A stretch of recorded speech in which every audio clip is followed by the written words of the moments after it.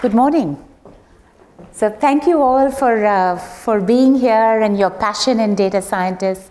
And uh, what I want to do this morning is take you through how we apply data science in the world of healthcare and, and why that's really important. And also the kind of skills that are required for us to truly make a difference in that industry. So I run uh, the data and analytics and the Leonardo business at SAP. And at SAP, we look at truly driving a higher purpose to make the world run much better. And we can do only do this by gleaning insights from data and then translating those insights into actions. In my role at SAP, we help customers across multiple sets of industries, and in particular, our health focus is very critical. It is very critical because in healthcare, the power of digital technologies to make an impact is significant.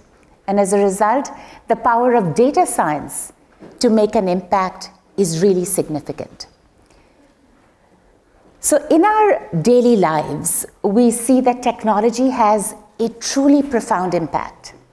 And if you look at some of these sectors, if you look at education, over 25% of college students are enrolled in online courses. And so technology has dramatically simplified their access to knowledge. If you look at relationships, we are more connected than ever, right? And we stay in touch with people that we haven't seen in ages. And a very startling statistic, at least for me, was over 90% of single adults in the US have tried online dating. And the way we work is changing. And why is it changing? The way we work is changing because automation, artificial intelligence, robotics has completely changed the labor market. And we see as a result that 30% of productivity is going to be driven in the next 10 years. This is really significant change. And it's significant change because with the advance of technology, with the advance of data modeling, with data science, we're really going to be augmenting the human workforce. Transportation, we all know that Uber has completely disrupted the taxi industry with 40 million riders across 77 countries. The point is that digital technologies is having an undeniable impact on our lives. And it's made every day of our lives easier. But now the impact is going to be even more significant. So at SAP, we've seen the forefront of many of these changes right? And the forefront of these changes really happen in many dimensions. Basically, they happen in a dimension where some examples where we have lampposts with sensors that are transmitting the ability for us to capture data. And as a result, what we can do is we, we capture and improve the air quality and the pollution control. Another example is uh, we've had a partnership with a Japanese telecommunication company where we actually measured drivers' biomedical data and signals, including posture. And so as a result, this added GPS location. And with the right data science models and the data science impact, we got a comprehensive safety analysis. And that as a result, we were able to reduce the driver fatigue and we were able to detect the safety of these solutions all in real time. So we're using the data to truly transform this type of an impact. But the point is, are we seeing that same transformational impact in healthcare? And there are a few statistics that I'd like to share. We see one in six deaths is caused by cancer. 422 million people have diabetes, and 50% are just gone undiagnosed. Cardiovascular disease is, continues to be one of the leading causes of death global, globally. And chronic diseases like diabetes really account for the top 10 cause of death. But now we're starting to see digital innovation and the impact of data and analysis growing in healthcare. We're not seeing the full scale impact of digital technology yet. Now, the question is why? First of all, the healthcare industry, it rewards treatment today and not necessarily prevention. So, new therapies, drugs, medical devices, but no equal investment in wellness, in being able to focus in fighting fires instead of preventing them. And this is where data science is going to have a huge impact. We focus a lot on the healthcare segment on hardware and less on software.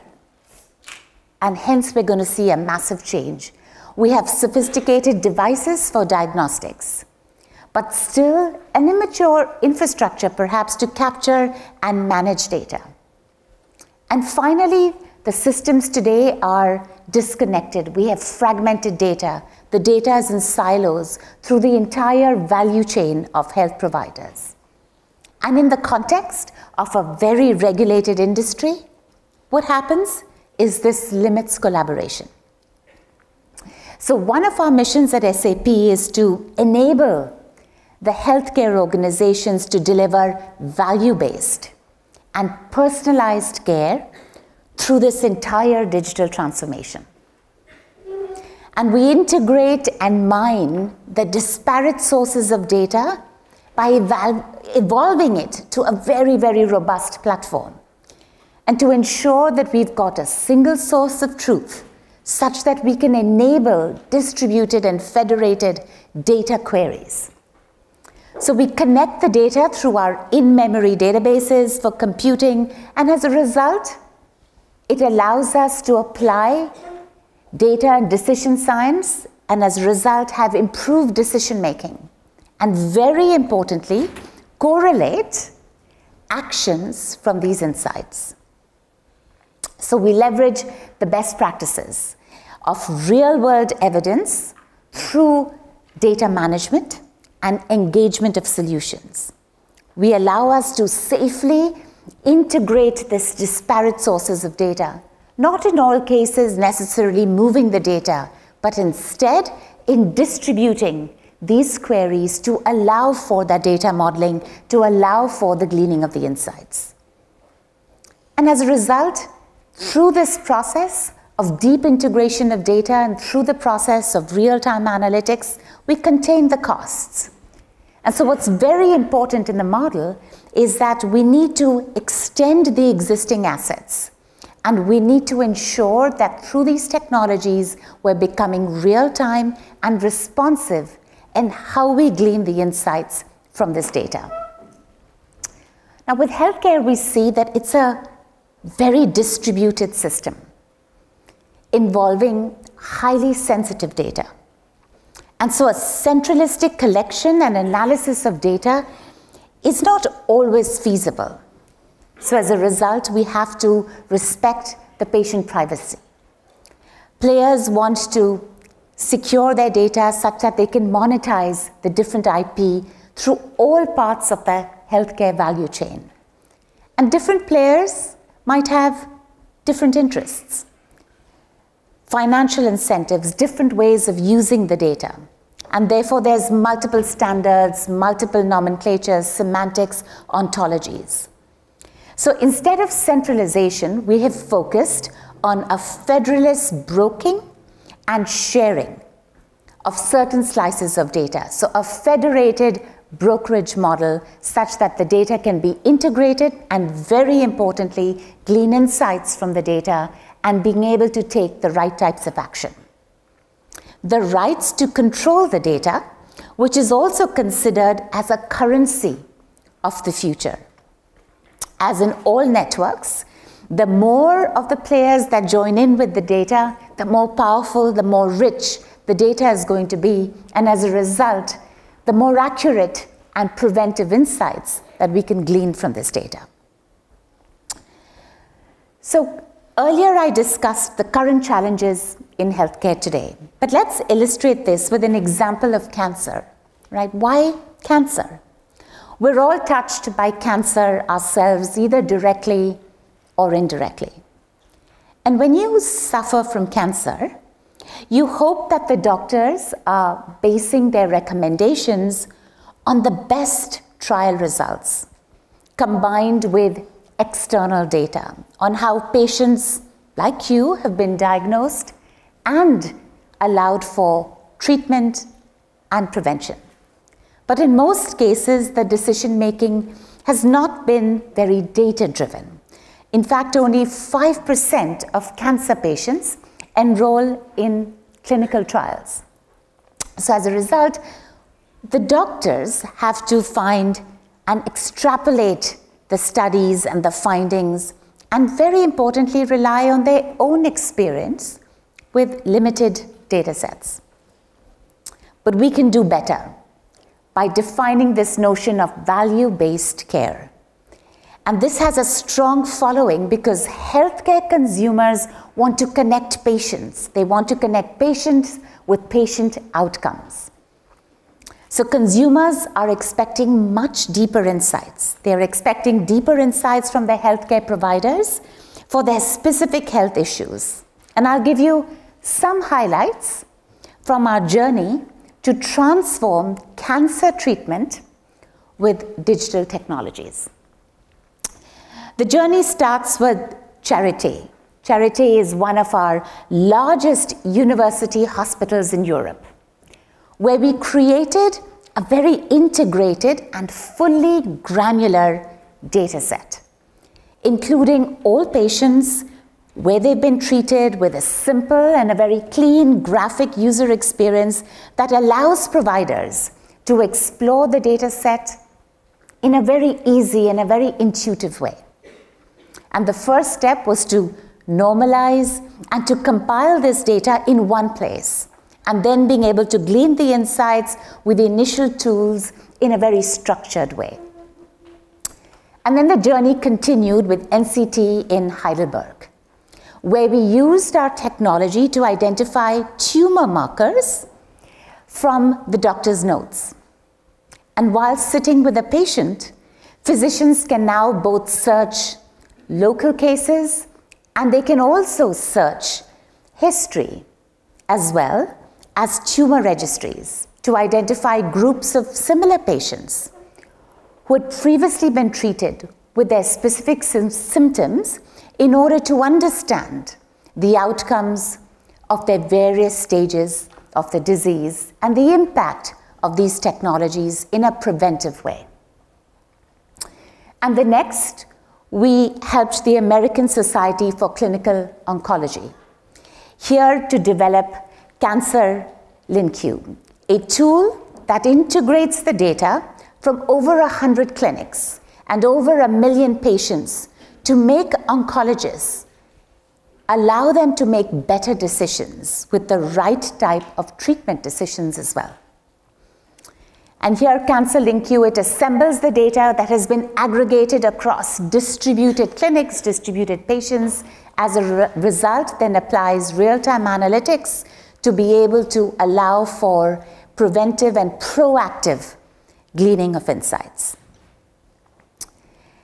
And with Gustave Roussy, which is one of the premier cancer research institutes, we're providing access, in this case, to both clinical and genomic data from more than 300,000 patients.